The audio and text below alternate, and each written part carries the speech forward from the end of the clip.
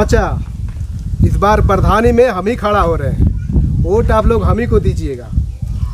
ना बाबू ज़बरदस्ती वोट लेबा का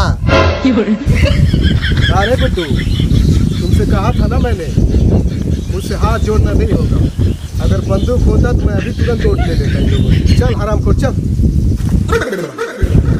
वोट मत दीजिएगा एक नंबर का गुंडा है वो। गन छिपा के रखता है वो अपने जेब में। गुड्डू हाँ भैया। कर रहा था रे इतना देर। अरे आपके लिए वोट मांग रहा था भैया। बस चल। मेरे चुन्नू भाई की ओर देना वरना खोपड़ी उड़ा दूँगा तेरा। साला मैं तो 18 साल का भी नहीं हूँ मुझसे वोट मांग रहे हैं। क्या कहा बे? कुछ नहीं आप ही को वोट देंगे।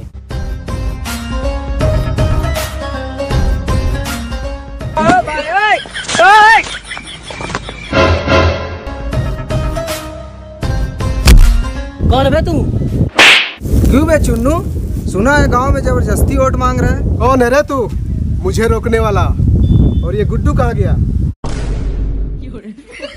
ये आईपीएस सिंगम 2.0 का हाथ है। आदमी पे पड़ता है ना तो आदमी उठता नहीं उठ जाता है। साला दामिनी का डायलॉग मारता है। साले तू आईपीएस सिंगम पे हाथ उठाता है? इंस्पेक्टर मुन्ना गिरफ़्तार करो इसे।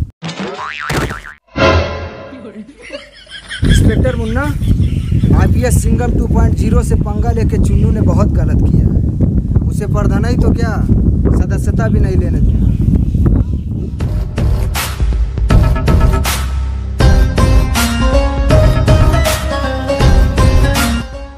रुक जा गुड्डू, वरना तुझे मैं गोली मार दूँगा।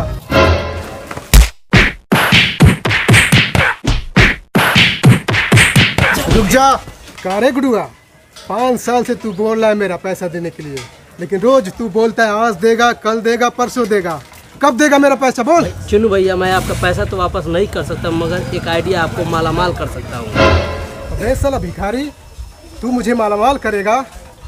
मुझे फिर से गोली तू दे रहा है। भैया एक मौका मुझे और दे दो। सुन अगर इस बार तूने मेरे साथ धोखा किया ना तो मैं तेरी खोपड़िया फोड़ दूँगा। कसम से बोला इस बार धोखा नहीं करूँगा चल बता तेरे पास क्या आइडिया है। चुन भैया कुछ ही दिन में प्रधानी का चुनाव आ रहा है आपको खड़ा होना पड़ेगा। हाँ बे चुन्नू को गधा समझाए का? आज तक मैंने कोई भी अच्छा काम नहीं किया। फिर मुझे वोट कौन देगा? चुन्नू भैया आपको चुनाव जीतने के लिए कोई अच्छा काम करने की ज़रूरत नहीं है। आपकी बंदूकी काफ़ी है। भुलवा ये सही बोल रहा है का? ऐसा हो सकता है का? हाँ चुन्नू भैया ज़रूर हो सकता है गुड्डू आज से तू मेरे लिए काम करेगा। मेरा दाहिना हाथ बन के रहेगा। ये ले बंदूक। चल चश्मा निकाल। चश्मा निकाल बे। को। माला निकाल। अब बता आगे का प्लान क्या है? चुन भैया सबसे पहले बेची प्रधान के पास चलते हैं। चलो रे।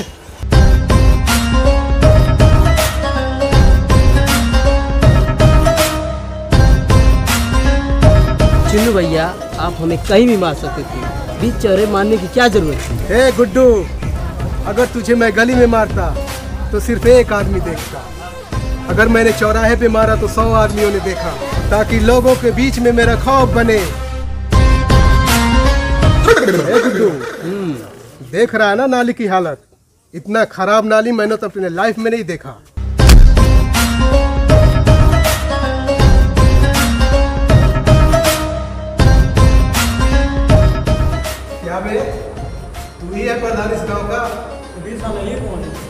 चुन्नी यादव। चुन्नी यादव हूँ मैं।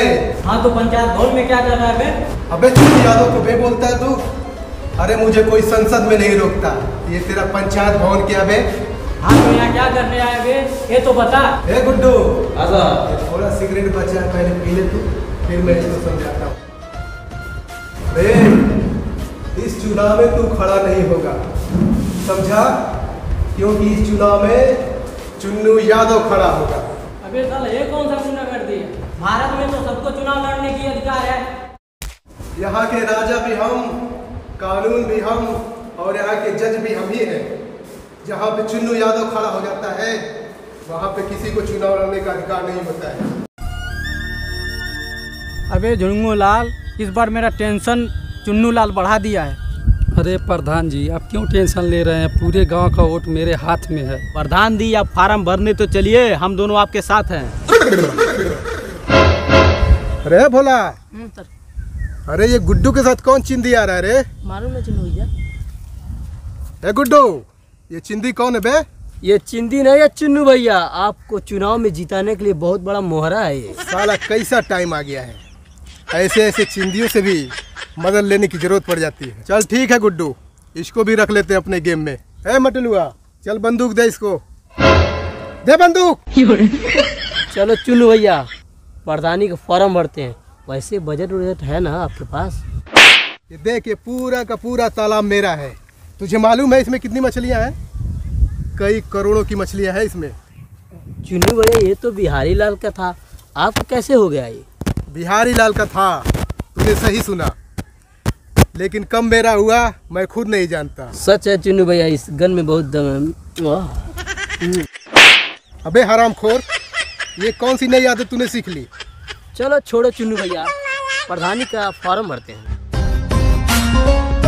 ए गुड्डू हम लोग आधे घंटे से चल रहे हैं। आखिर हमें जाना कहाँ है?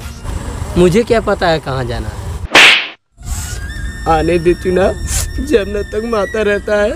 लास्ट में तुझे बताऊँगा किस दान का हो रहा होता है। चुन्नू भैया आपके पास बजट रोडजट है कि वैसा ही फेंक रहे हैं आप?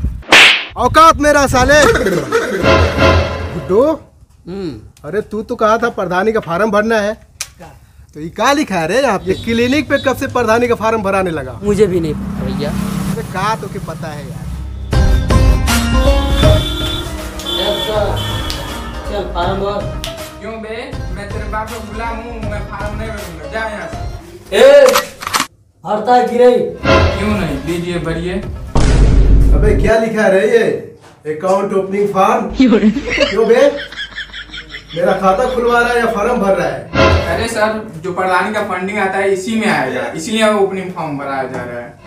ओ ऑफिसर पहले बताना था ना क्योंकि मैं फंड के लिए तो चुनाव लड़ रहा हूँ। फॉर्म तो हो गया। चलिए इस पे फिंगर लगाइए। ए गुड्डू। हाँ भैया। ये प्रधानी के चुनाव में कब से फिंगर लगने लगा रे? मुझे तो नहीं पता है भैया। अबे रहने दे तेरे को कुछ नहीं मालूम है। ऑफिसर ये क्या नया रूल है तुम्हारा? चुनाव में खड़ा होना है तो फिंगर लगाना पड़ेगा। ये गवर्नमेंट का रूल है। चलो ठीक है लगा लेते हैं। सही लगा लिया। ए गुड्डू फॉर्म तो मैंने भर दिया। चल लुकअप चेंज करते हैं।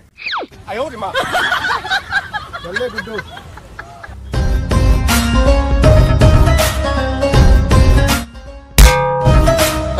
बेची प्रधान। बाहर निकाल साले। क्या रे बचुआ तेरे को बोला था ना मेरे खिलाफ नहीं जाना। तूने मेरे खिलाफ जाके बहुत गलती की है। गुड्डू हम्म भाई। इसे अपनी भाषा में समझा। क्यों रे बेचू? तुझे चुन्नू भाई ने समझाया था तेरे को समझ नहीं आया। चुन्नू भाई के समझाने के बावजूद भी तूने पोस्टर क्यों लगवाया? ये गुड्डू ये मुझसे नहीं एसपी साहब से जाके खुद पूछ ले। साले तेरी ये मजाल। एसपी साहब से जाके शिकायत करता है मेरी। सारी गोलियाँ तेरे भेजे में उतार दूँगा। चुनू भैया ये चुनाव का माहौल है। खून खराबा मत कीजिए। चुनाव जितना है ना थोड़ा शांति बना कर रखना पड़ेगा। चलो रे चलते हैं एसपी के पास। देखते हैं कौन सा नया एसपी आया है। एसपी साहब का आशीर्वाद है कि चुन्नू का आतंक खत्म हो गया। हाँ भैया। लगता है एसपी बहुत पहुँच वाला है रे। छोटे को फूल लगा तो सर मैं चप्पा चप्पा छान चुका हूँ। इन लोगों का लाइसेंस सही है सर अबे घोर पड़े। हम लोग जहाँ जा रहे हैं ये लोग का सब लाइसेंस क्लियर मिल रहा है। हम लोग का झोल पानी कैसे होएगा? सर कहीं ना कहीं इंतज़ाम तो हो जाएगा। ए एसपी तेरे को खर्चा पानी तो मैं देता ना। अबे ये चिंदी वही है क्या जिसके बारे में बेचू कंप्लेन दे के गया था? ओ एसपी मेरी पहुँच दिल्ली तक है। तेरी ये मजाल कि मेरे भाई को चिंदी बोला दो मिनट में तेरी वर्दी उतरवा दूँगा। अबे ओ मैं तुम जैसे चमचों के लिए नहीं काम करता हूँ। मैं इस देश के लिए काम करता हूँ। ये देश मेरी शान है पहचान है। वर्दी तो क्या मेरी टोपी भी नहीं उतरवा सकता है तू? छोटे आप बैठ के बात करते हैं। अब ओए बैठ के क्या बात करेगा? कुर्सी क्या तेरा बाप छोड़ के गया था। तेरी तो पहुँच दिल्ली तक है।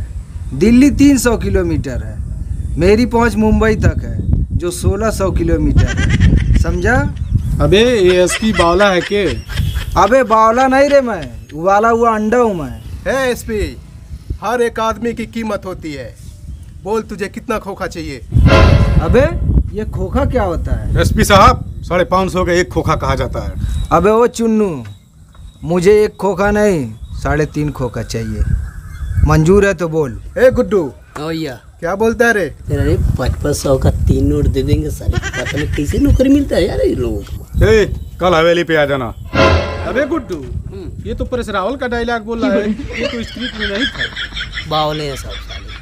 पता नहीं कहाँ कहाँ से इन लोगों को नौकरी मिल जाता है।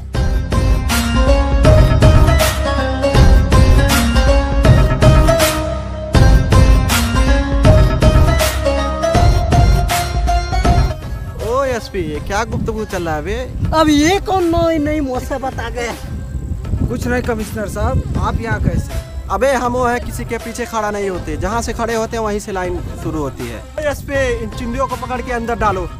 बहुत बड़ी गलती हो गई गन लेके नहीं आया। नहीं तो यहीं पे इनकाउंटर कर देता इंसानों को।